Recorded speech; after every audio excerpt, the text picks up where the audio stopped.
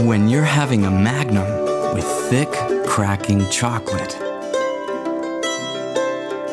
nothing else matters.